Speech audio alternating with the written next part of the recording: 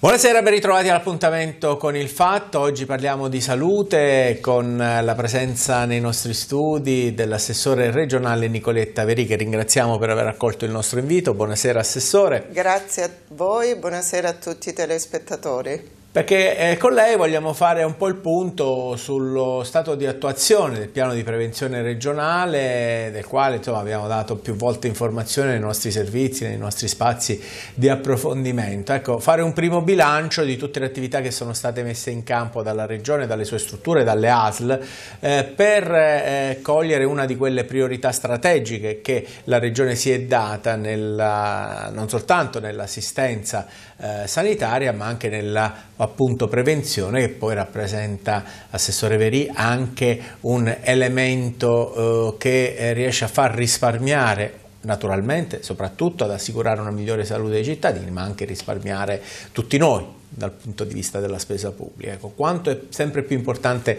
la prevenzione nell'ambito delle eh, strategie eh, politico-amministrative nella sanità? Sì,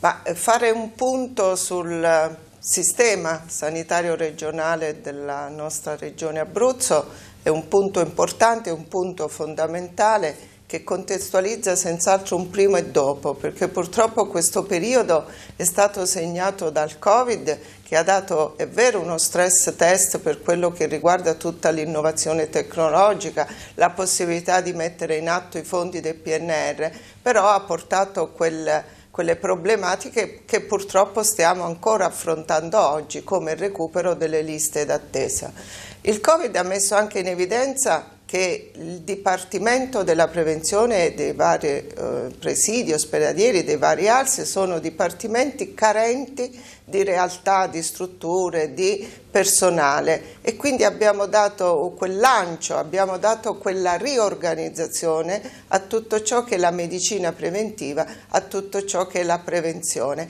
Abbiamo messo in atto un piano di prevenzione 22-25 che riprende le linee guida di quello nazionale ma soprattutto cala nella nostra realtà abruzzese su un discorso di qualità di vita, su un discorso di che cosa significa prevenire. Prevenire significa ridurre l'incidenza delle patologie, prevenire significa ridurre i costi della sanità ma soprattutto i costi socio-economici perché quando si ammala, quando diventa invalida una persona senz'altro questo ha un notevole costo sia sulla produttività che sulla sanità. Noi in questo momento parliamo di prevenzione, prevenzione primaria. Prevenzione primaria significa adeguarsi a quello che è un corretto stile di vita, quindi finalizzato a tutto ciò che è il movimento, a tutto ciò che è un'alimentazione sana, per poi arrivare a una prevenzione adeguata nei contesti lavorativi e anche nelle proprie case. Nei contesti lavorativi è importante perché sono ancora tante le patologie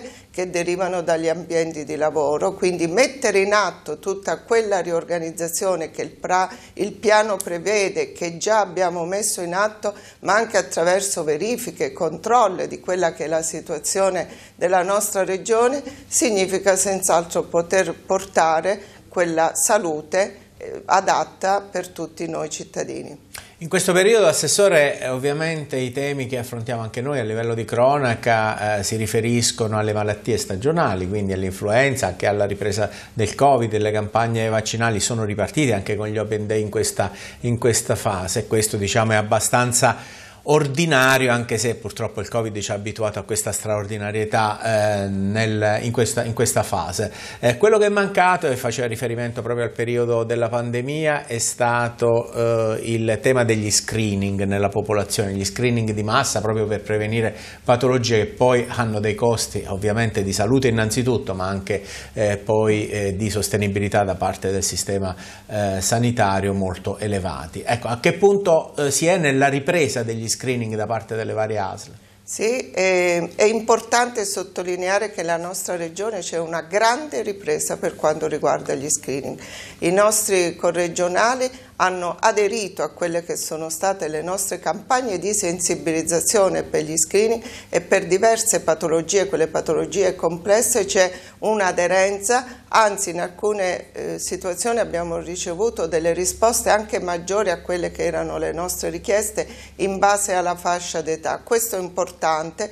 perché significa che sta passando quell'elemento di consapevolezza di quanto è importante fare uno screening, di non trascurare quelle richieste che arrivano attraverso la stampa, attraverso online, da parte di tutti, a, a tutti i cittadini, da parte delle aziende, di recarsi. È importante continuare ancora a fare lo screening per quanto riguarda il colon retto, perché ci sono ancora questa incidenza di queste patologie e quando si parla di patologie complesse bisogna ricordare che più delle volte sono quelle più subdole, più nascoste che non presentano sintomi. È ancora importante lo screening. Lo screening della mammella ha avuto una aderenza diciamo, notevole, importante e questo senz'altro porta alla riduzione di quella che è poi eh, purtroppo la patologia che comporta la patologia e quindi una riduzione di quelle problematiche complesse. Ecco, questi sono i casi in cui i cittadini sono chiamati, proprio eh, convocati per lettera attraverso appunto queste campagne dalla Regione nelle varie eh, strutture dove, ambulatoriali dove vengono effettuati questi esami, ma c'è anche la novità che è quella appunto inclusa in questo piano, anche nelle ultime strategie regionali, eh, delle case di comunità, quelle su cui finalmente si cerca di eh, risolvere l'altro, anzi forse il principale problema eh, dell'offerta eh, sanitaria che è quella riguardante riguardante il territorio. Sì, questa regione era carente di un piano territoriale, di una rete territoriale. Abbiamo deliberato il nostro piano della regione. Vorrei sottolineare una problematica importante che abbiamo affrontato sia per la rete ospedaliera che per la rete territoriale, che è quella della conformità della nostra regione, della disomogeneità del nostro territorio in quanto abbiamo una percentuale di densità della popolazione distribuito su questo vasto territorio. Questo comporta sempre problematiche in quanto gli indicatori stabiliti da parte del Ministero sono indicatori che non tengono presente di queste grosse difficoltà. Così come abbiamo avuto la forza e il coraggio invece di portare avanti un piano della rete ospedaliera che va in questo verso, così l'abbiamo fatto per quanto riguarda invece ugualmente la rete territoriale. È una rete territoriale che si estende sul nostro territorio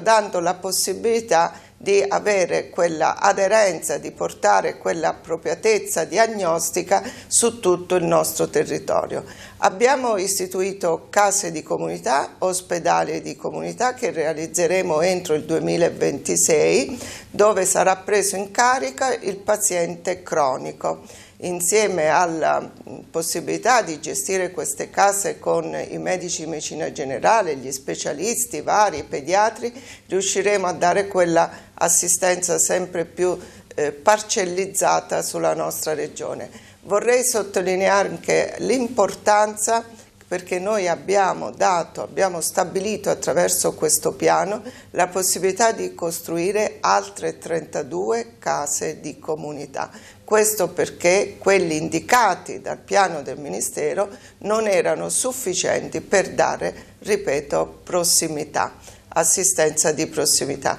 e quindi questa attenzione, così come è stato fatto per i piccoli ospedali che non abbiamo messo in atto quella che era una richiesta da parte dei ministeri affiancanti, la cosiddetta chiusura o il ridimensionamento, ma abbiamo dato un'identità importante per quanto riguarda proprio una rete dell'emergenza. A questo vorrei aggiungere un altro elemento fondamentale che sono quelle dei track mobili. Ci sono dei piccoli comuni che non potranno avere una casa di comunità eh, proprio per la densità della popolazione, ma avranno un track mobile, ossia un'unità mobile,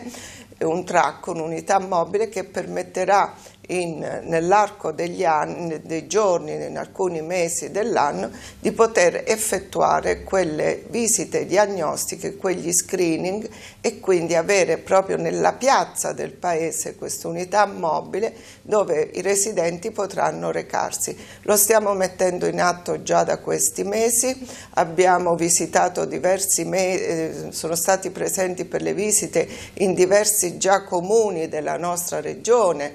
attualmente sono prevalentemente presenti nella provincia di Pescara con un'affluenza notevole. Questa affluenza notevole sta portando sia alla riduzione delle liste d'attesa, ma soprattutto a quella capacità di poter effettuare quegli screening anche alle persone che avevano, eh, diciamo che non ancora erano preparati a questo tipo di indagine. Ecco, da sottolineare che si tratta di screening assolutamente gratuiti e che possono essere fatti proprio vedendo eh, questo poliambulatorio mobile nel proprio comune senza impegnativa e senza sì. alcuna prenotazione, basta essere cittadini. Sì, è importante sottolineare questo e devo dire che questo messaggio sta passando perché abbiamo diverse richieste ogni giorno dove in questi comuni dove sono presenti queste unità immobili con un feedback molto positivo. Questo significa un'attenzione particolare al territorio. Quando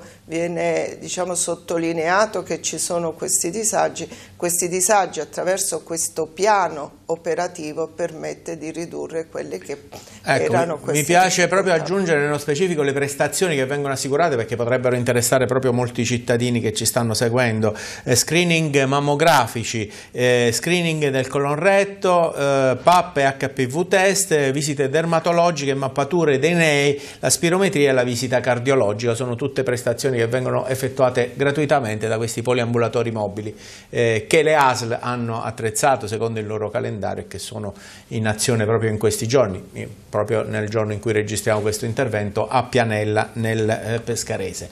Eh, un ultimo aspetto prima di salutarci Assessore perché ovviamente un piano di prevenzione deve guardare anche alle nuove frontiere, anche ehm, alle eh, malattie e alle eh, situazioni eh, di tipo oh, critico che potrebbero oh, riguardare la popolazione e eh, la risposta del servizio sanitario a, alle stesse. Ecco, siete molto impegnati eh, sul, sul fenomeno dell'antibiotico resistenza, su questo c'è grandissima attenzione anche perché insomma, anche il personale scientifico dei reparti di malattie infettive della nostra regione è stato eh, messo a dura prova e comunque ha risposto benissimo con grandi competenze alla prova del Covid. È che questa è la vera nuova frontiera della prevenzione? Sì, è vero ed è questo un elemento prioritario che abbiamo inserito nel piano della prevenzione e ha detto bene lei, è il problema del futuro. Purtroppo ci sono dati allarmanti da parte dell'Organizzazione Mondiale della Sanità perché viene definita come la prima causa di morte nel giro dei 25-30 anni, nel massimo 50 anni. Quindi è importante cominciare a lavorare con la prevenzione così come noi stiamo facendo sia attraverso il piano ma soprattutto siamo regione capofila a livello nazionale di progetti importanti proprio nell'ambito di questo tipo di problematica, portando avanti un'analisi attraverso l'informatizzazione, attraverso la capacità di avere i dati nella nostra regione e devo dire che questo allarme purtroppo è dettato da un uso che spesso e volentieri viene fatto dai farmaci, in modo particolare dall'antibiotico, così come abitudine appena si ha un sintomo si prende l'antibiotico. Man mano questo antibiotico diventerà sempre di più eh, meno eh, efficace, quindi si chiama antibiotico resistente, non avrà più quegli effetti per cui avremo grosse difficoltà poi nella cura e nella gestione della patologia complessa che ha bisogno proprio di un antibiotico. Quindi l'invito è che ci sia un'aderenza e soprattutto un'appropriatezza di non farne un uso così come viene spesso gestito e eh, un altro elemento aggiungo allarmante è proprio quello dei virus, così come stavo dicendo che c'è da parte del delle indagini che stiamo facendo noi della nostra regione, dei virus che spesso e volentieri possono essere contratti anche in certi ambienti ospedalieri. Quindi un'attenzione particolare su quella che sarà la sanità del terzo millennio, una sanità che avrà un volto diverso, siamo in un momento di cambiamento, spesso si accusano alcuni elementi della sanità, ma la risposta è la sanità innovativa e quella che ci ha visto nell'investimento nei prossimi anni di fondi per quanto riguarda impegni sulla digitalizzazione, sulla informatizzazione e quindi sull'innovazione tecnologica. Bene, io ringrazio l'assessore Nicoletta Veria, abbiamo insomma, acceso qualche eh, riflettore di informazione, suppongo interessante per i nostri telespettatori sulle opportunità eh, riguardanti la prevenzione, certo la sanità ha tanti altri eh, problemi e aspetti che eh, vanno affrontati, eh, comunque questo è uno di quelli probabilmente eh, decisivi per il futuro dell'offerta di servizi da parte del, del Servizio Sanitario Nazionale anche della domanda da parte dei cittadini. Grazie, arrivederci, Assessore, buona serata. Buonasera.